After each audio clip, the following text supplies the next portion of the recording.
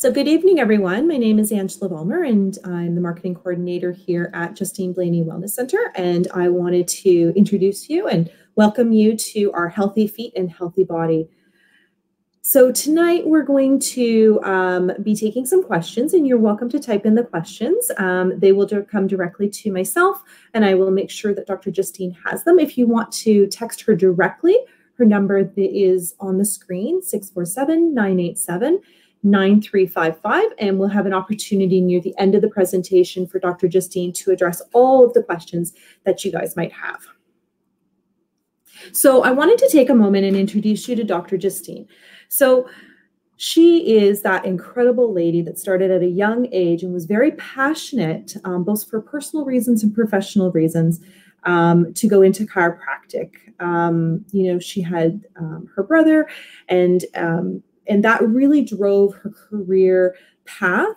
But she also was an advocate um, and has been very, very um, in the limelight, I guess, if that makes sense, um, for many years, um, talking um, about sports and equality. And this is such a, a very passionate um, area that she has. She is an amazing chiropractor. She's an incredible mom, incredible um, wife. And you know what? She loves to speak. She loves to be able to share health and wellness with everybody and anybody because she really feels that it makes a difference in everybody's life and everybody deserves it. So please help me welcome Dr. Justine Blainey. All right. Thank you, Angela.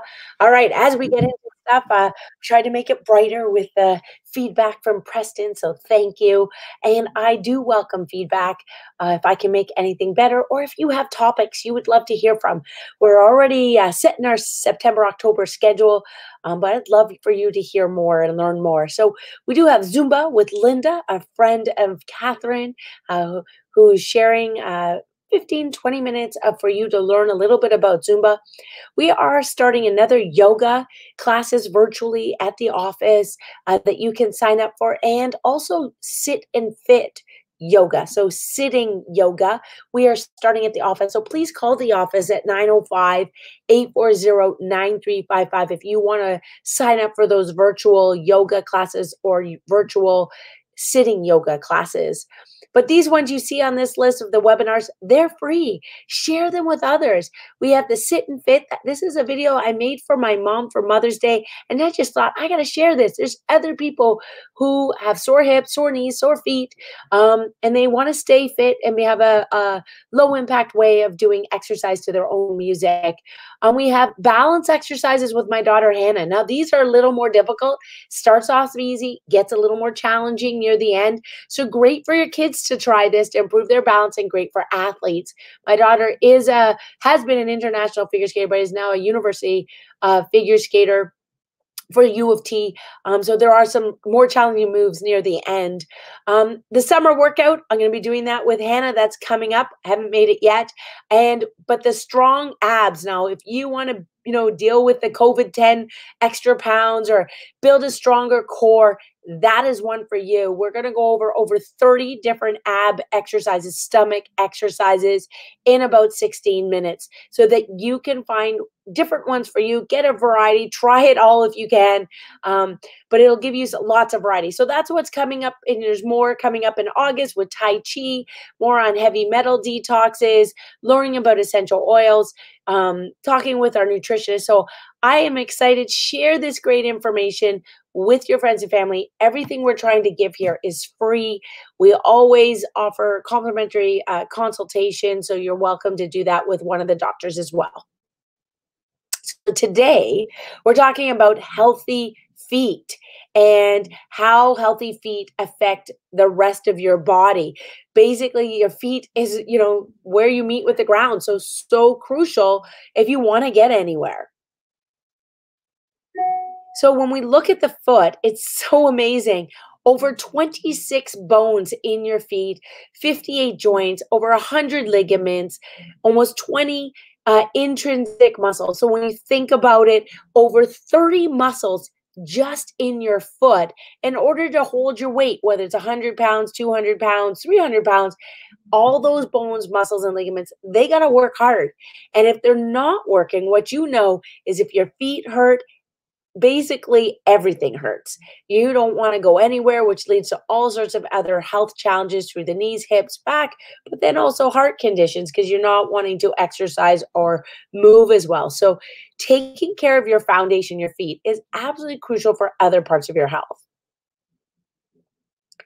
Um, so when you look about how important taking care of your feet, now that people have uh, Fitbits and able to check out their steps, many people are taking 10 15,000 steps um, literally you know so many kilometers or miles every single day um, and each step is about 3.5 times your body weight going through your foot so that is if you're just a lightweight 130 pounds um, that's over 500 pounds of pressure going into your foot so to me that's a huge reason to take care of your feet your muscles in your feet, your joints in your feet, and your calves. So today we're going to talk about different kinds of arches. If you have high arch, low arch, overpronation, or supination, 95% of the population rolls in. That's overpronation. And flat feet is when this pes planus. So your foot absorbs the shock when you're walking or running or moving. And majority of people as they age, their feet start to roll in, roll in, roll in more. So as people age, they tend to find more and more conditions um, and challenges with their feet that we're going to cover today. So there are three main arches. Most people think of the arch just on the inside of the foot. They don't realize there's an arch on the outside of the foot or across the top of the foot. So if you look there, you will see uh, and on the position, the, the first picture on your left, you'll see three arches, one on the inside, outside of the foot, and across the top of your foot. And I always recognize the top of my foot because that's where you would feel pain under the ball of your foot versus pain under the middle of your foot or pain in your heel. And we're going to cover the different conditions coming up for those different sort of pain zones. All right, so if you look at the top arch, you will see that, you can almost put your fingers. We think about that in hockey, whether you have too much of an arch um, for your hockey stick being an illegal curve. Well, same thing with the arch of your foot. You should be able to fit three to four fingers under the arch of your foot when standing and when sitting to have a proper arch of the foot. So if you look at the bottom foot, you can see that collapsed arch. Now, many people think they have a normal arch because they're looking at their foot non weight bearing, meaning sitting, and not looking at once they stand and how that foot and that arch might collapse. Or they're only looking at the one arch, the one on the inside of the foot, not on the outside of the foot or across the top of the foot. So some of the reasons why you might be an overpronator, and and you can have this tested with a chiropractor, you can have this tested with a physiotherapist. Now there's some great advice even at the running room and how to pick the right shoe if you're an overpronator or oversupinator. But some of the, the things that you can know if you're an overpronator where the foot rolls in is if your foot flare you you you walk with your feet pointing out more than the typical five degrees. Five degrees would to 10 degrees might be normal um, but not more. Um, wear on the back part of your shoe heel wear. Your kneecaps patella approximation your kneecaps turn inward. You start to tend to have more knee pain over time. Your achilles tendon that's the the arch at the back when you look at the back of your heels it bows inward um, flat arches, that's navicular is one of the bones in your foot. The metatarsals is the top of your foot, just right before your toes. Um, they tend to drop, and you might end up with hammer toes, meaning that toes that kind of stick up. Um, weak muscles into the buttocks, hip flexors, or the front of your legs, your quads. So yes, the muscles from your feet and challenges with your feet affect all the way up the kinetic chain to your calf, your leg, and even into your back and hips.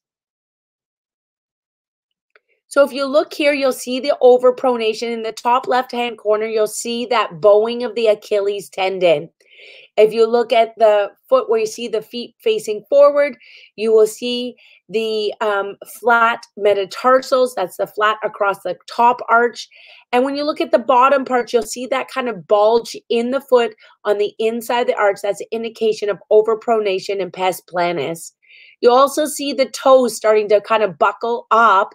And when the toes start to buckle up, that's the signs of a hammer toe, meaning that you have dropped metatarsals or dropped arch across the top of your foot.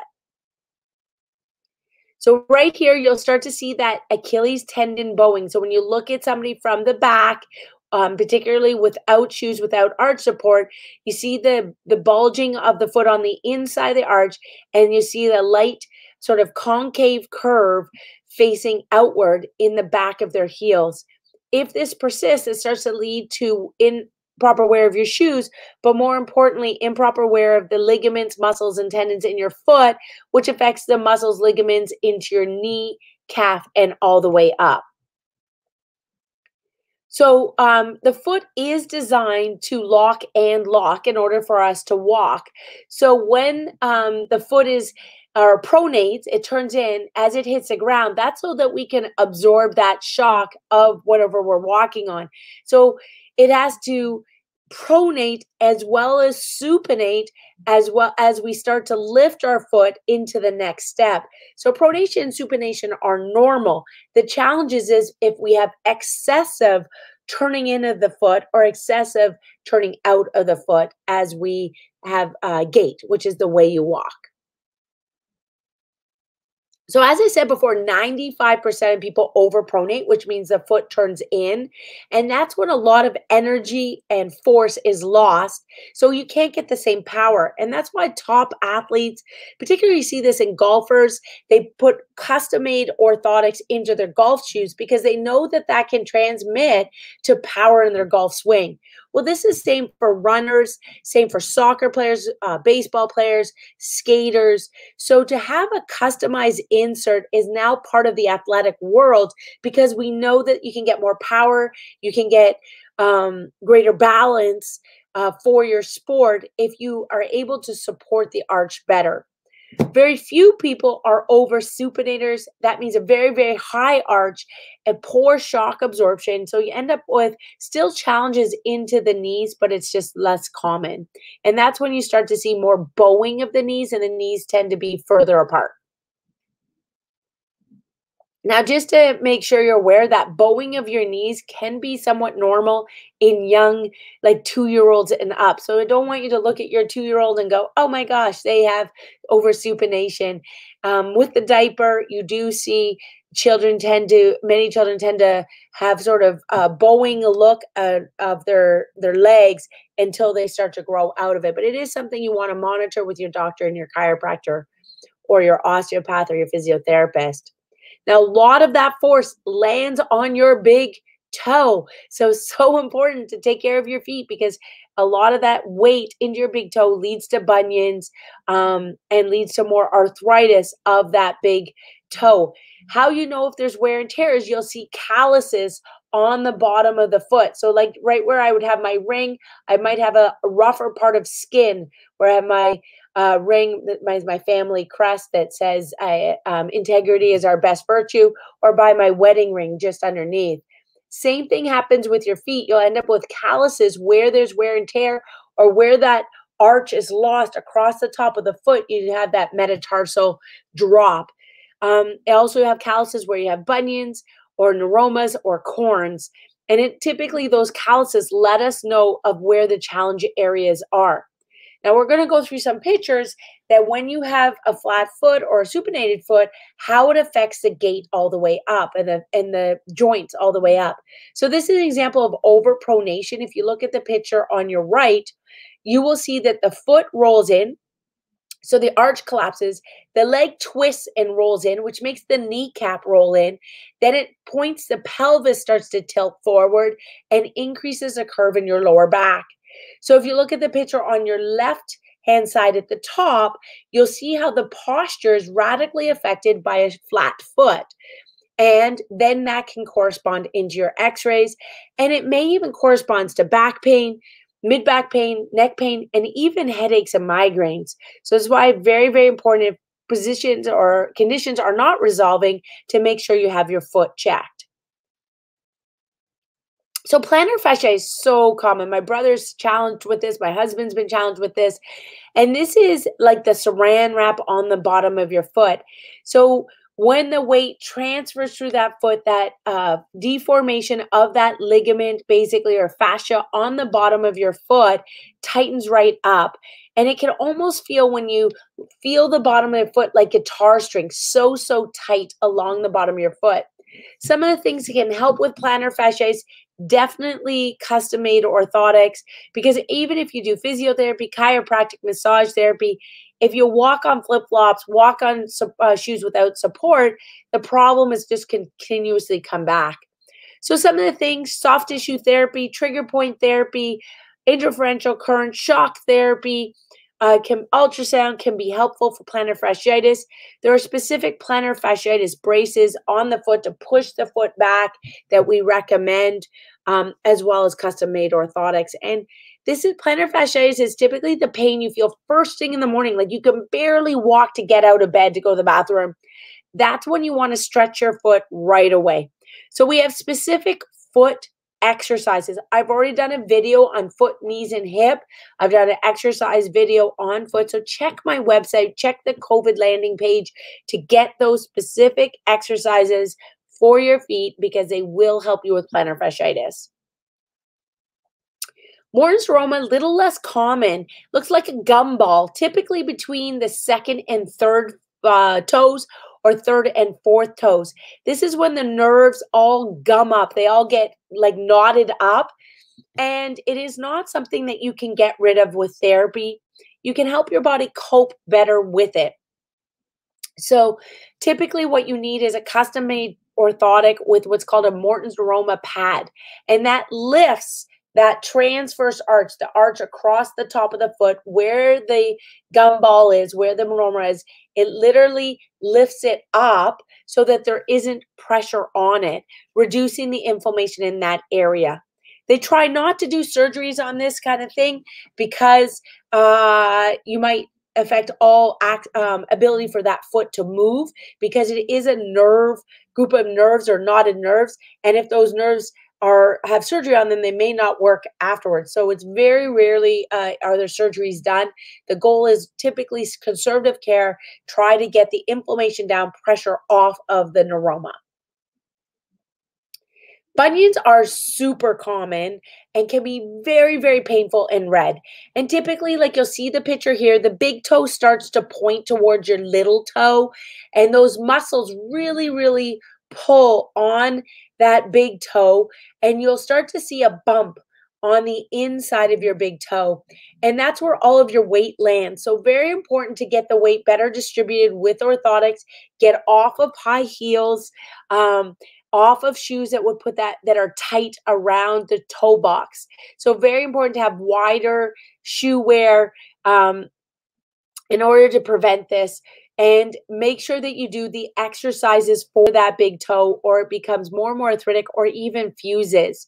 Bunion surgery, they can cut that bone, but often it still leads to problems afterwards and even problems that can come back if you don't address the original cause of the bunion because the bone can still grow. So very important to get rid of the original cause by taking care of strengthening your arches in your foot, getting customized orthotics, and making sure you're strengthening your calves and, and as well as stretching your calves.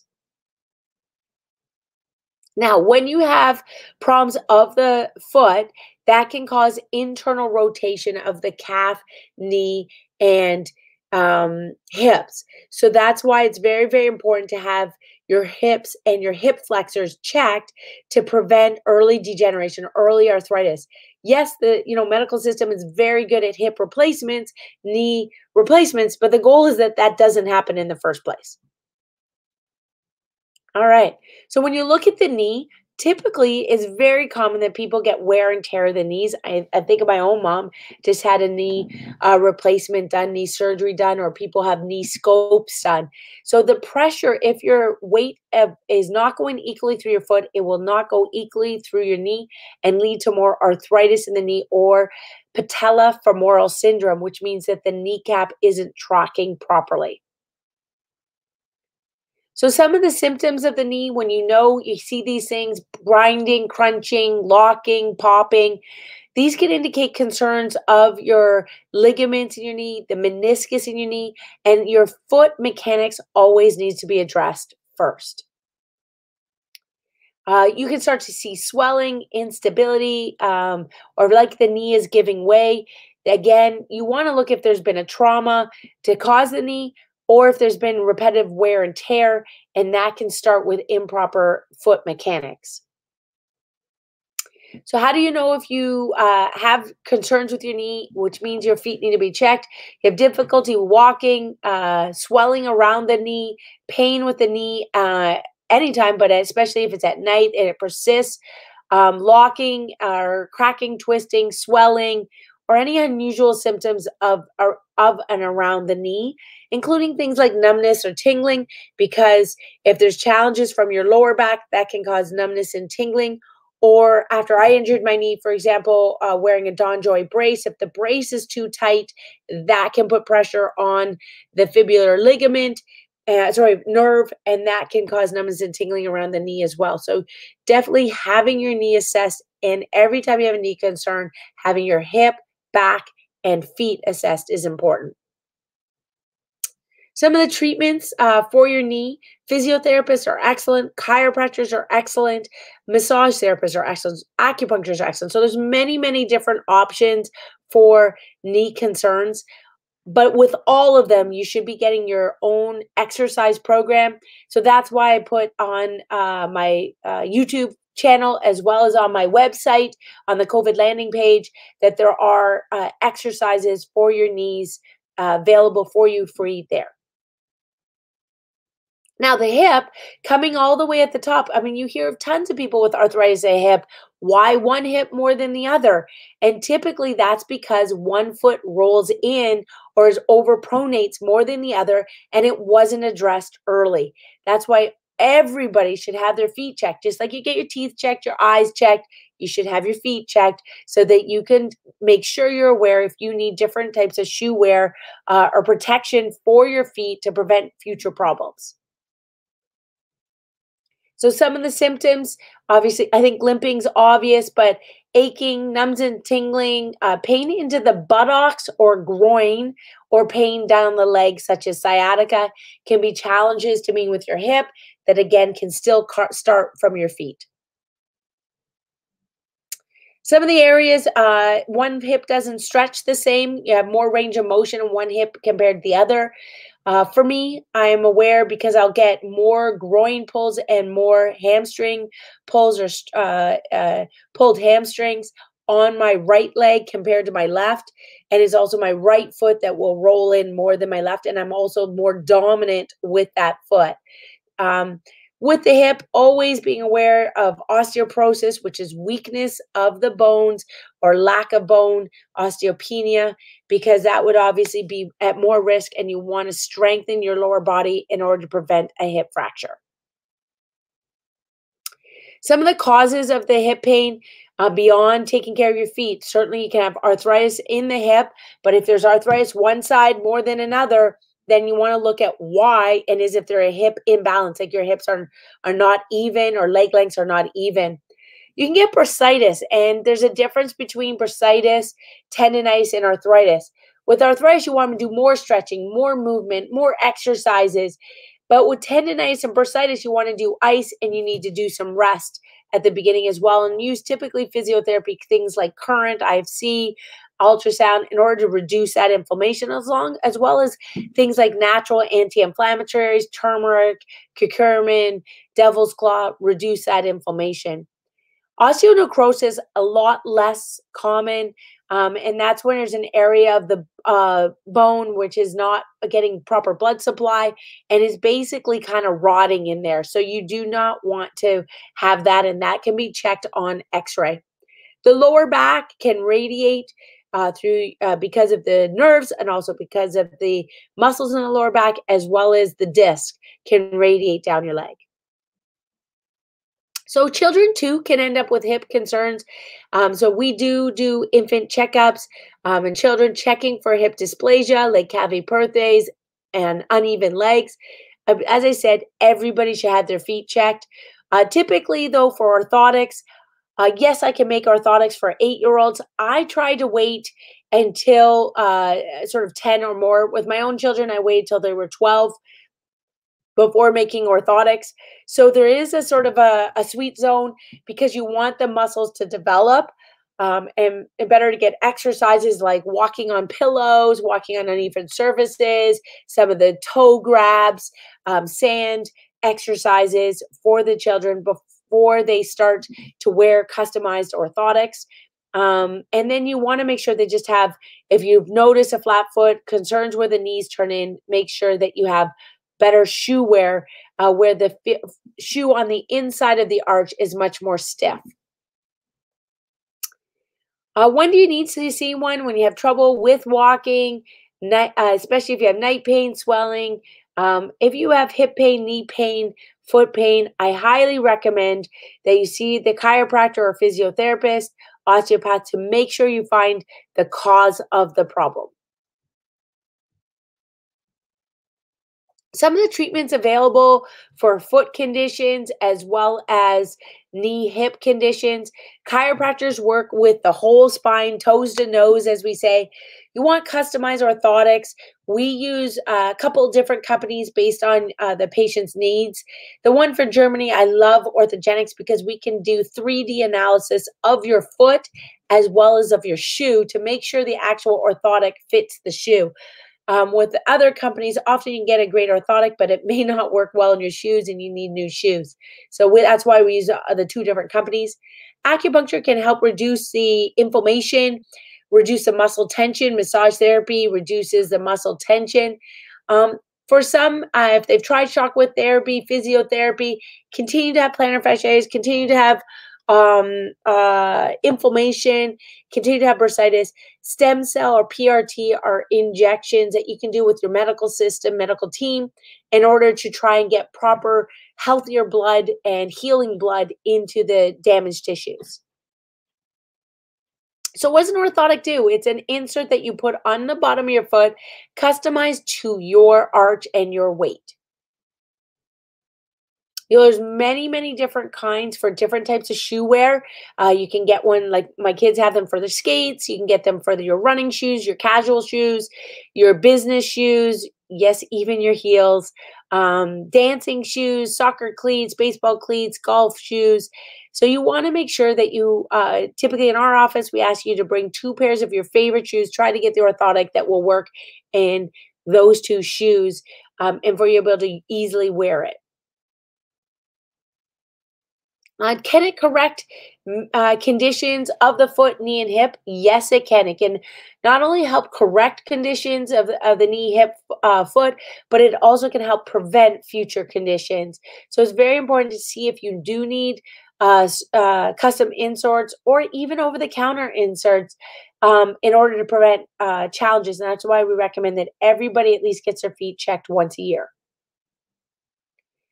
So Orthogenics, this is the company we use. You'll see the computerized technology looking at um, at your where the areas of shock absorption and it does precision digital modeling so it uses the machine to measure your foot measure your arch when you're weight bearing when you're not weight bearing and how to customize that orthotic to your custom or your sorry your favorite shoe wear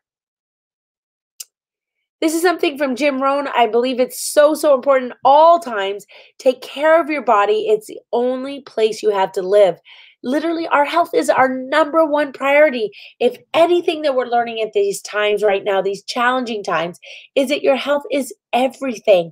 Take care of it. Work on prevention. Help your immune system naturally to prevent sickness, not just COVID, but any sickness. Take care of your body mind, body, and spirit to work on prevention of, of any conditions and help you have the more energy in order to help your family, your community, your your um, faith, and your your volunteerism to, to make a difference. So you'll look at how your if your foot does roll in, you'll see how it affects your knees, hips, and then you'll also see you'll see how the compensation up into the spine. This is one of the reasons why chiropractors like to look at your posture to see if there's a condition there. Uh, Thomas Edison, the doctor of the future, will give no medicine but interest the patients, his patients, in the care of the human frame, diet, and cause and prevention of disease. So, human frame, that means looking at your posture, looking at your feet, and all the way up. All about working on prevention rather than reaction. So, being proactive rather than reactive for health conditions. So, as chiropractors, what we want to do is look and find those areas of subluxation. So, if you look at the top at 100%, that's when you're feeling amazing, top of the world. And that's what we want for everybody. But if we have different stresses chemical, physical, emotional, spiritual stresses, EMS, electromagnetic frequency, you know, with all this fear of 5G, uh, if you have those stressors, um, and the physical can be with your feet, that can lead to subluxations of one of those 26 bones in your feet, leading to challenges in your feet, which affect your ankle, knee, hip, all the way to your spine. And if you have more dysfunction all the way happening in the spine, you have more dis ease in the body, more stress on the nervous system body, which leads to more symptoms and ultimately leads to lower quality and quantity of life. So we have different ankle exercises, drawing the alphabet with your foot in big um, capital letters, doing toe um, calf raises, using TheraBand. That's why on our website we have numerous uh, wellness talks there. There's an ankle, knee, foot talk that's 15 minutes. There's a four or five minute one just for your feet, the other one just for your knees, and another one just for your hips. Um, there's different exercises. You see the calf raises here. If you go to the next one, the heel raises. You'll look at toe walking to strengthen your foot. Doing here, you'll see uh, bringing your foot toes towards your body using a TheraBand to strengthen the front of your calf. And um, crunching your foot. You can use this with a towel. Um, you can do this with sand to strengthen the bottom muscles of the foot. And lastly, tennis ball rolls to massage the bottom of the foot, or using, if you have plantar fasciitis at the end of the day, an ice water bottle, 500 ml water bottle, so that your foot's going over the ball, lacrosse ball, uh, baseball, or water bottle to massage the muscles of the foot. There are different videos. I love the videos from Dr. Jen Fit. So look her up on Instagram. She has many videos on how to massage your foot, how to do foot exercises. Uh, and she has ones for opening up your back and stretching your calf, stretching the glutes. Um, so just if you're an Instagram person, look at her videos. They have some great videos on how to help yourself. So you'll see she does a, a, video here on pronation supination to look up and all the muscles in the foot and is strengthening that inner arch of your foot. Um, looking at hip exercises, you'll see how to uh, do hip opening exercises. Many of these are yoga poses. You'll see the happy baby, um, the cow face um, legs. You'll see the um, hip openers and the baby or child's pose. Highly recommend getting some of these poses to open up your hips, your calves, your feet. And that's why we have the virtual yoga going on. Again, sign up for that at the office. It's with Aisha virtually on Zoom and just very small groups so that she can be correcting your poses and correcting you um, uh, via virtually. She's also setting up for those who can't get on the ground chair yoga, sitting yoga, highly recommended to improve your flexibility. There are different knee exercises using balls, using bands, using your own body weight, stretching your hamstrings, stretching your quads. I highly recommend again looking up those specific exercises. But if you need help, we do have kinesiologists at the office that would be happy to go through specific exercises with you.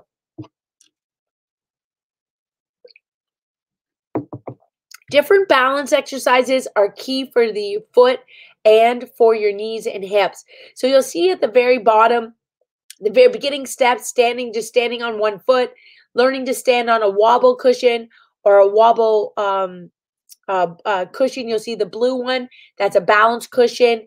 So we do have the balance exercises coming up with Hannah, um, and they're just done outside on our deck. So I encourage you, everybody, to improve their balance, especially young athletes. So check out that next talk coming up with Hannah soon to improve your balance. All right. If you have any questions, again, don't hesitate to text me. If you have questions at the office or need a time appointment, don't hesitate to ask the front desk so we can uh, set up that specific time for you. Especially with the social distancing, we do need to know that in advance so that we can make sure you feel confident and comfortable with uh, being properly taken care of and all of your questions and answers are addressed. Um, if not, don't hesitate to text and we'd be happy to address those questions. So at this time, uh, if there are no questions, I just want to remind you of our upcoming talks again.